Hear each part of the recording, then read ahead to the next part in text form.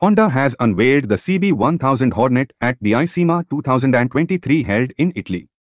Honda CB1000 Hornet will be the most amazing bike in its lineup.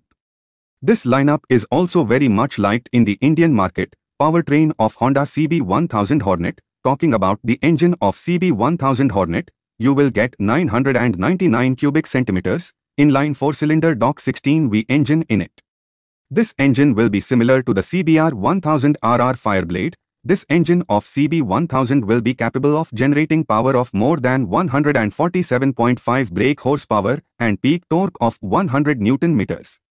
Also this engine is paired with 6-speed gearbox. You will get throttle-by-wire TBW feature in Honda CB 1000 Hornet.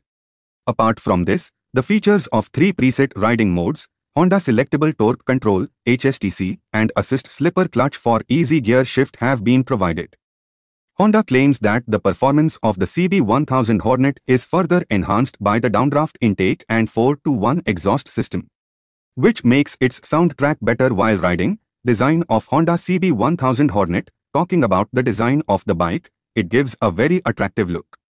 The bike features super compact dual LED projector headlights. Apart from this, a large and sporty fuel tank makes the design of the bike more attractive. Hornet signature has been given on the tank. Talking about the suspension setup of the bike, it includes Showa 41mm SFFBP USD fork at the front and Showa monoshock at the rear. The new Honda CB1000 Hornet has 17-inch alloy wheels which come with 120 by 70 front and 180 by 55 rear tires. The braking system of the bike is also going to be amazing. A 310mm floating disc is included in the front of the bike and a 256mm disc brake is included in the rear wheel.